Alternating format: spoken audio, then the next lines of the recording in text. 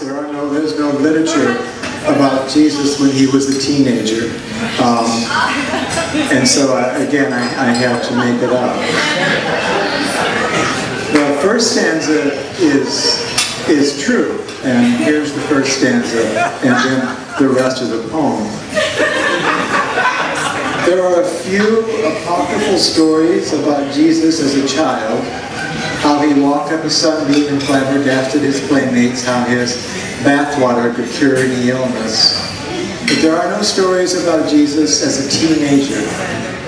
So I wonder, did he make his bed without being told?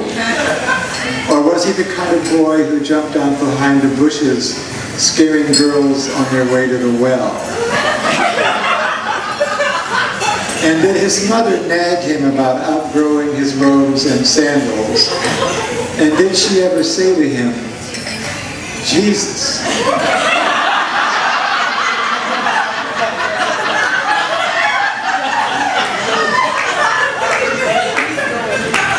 Jesus, do you think your father and I are made out of myrrh? He was probably a cool kid who one of the others looked up to. And it wasn't just that he said he wouldn't live long. A lot of the guys said that, especially the ones who drank too much wine and raced their donkeys. But Jesus was different. While everybody else partied with the Dead Sea, he'd take the rowboat out, step right off the bow, and sink like a stone. And then he'd swim back in oh, all mad. His pals could tease him out of a bad mood though, and pretty soon he'd change water into beer and make one hot dog feed everybody. Girls liked him, but he wasn't into girls, though no way was he like Obadiah, who made his own curtains.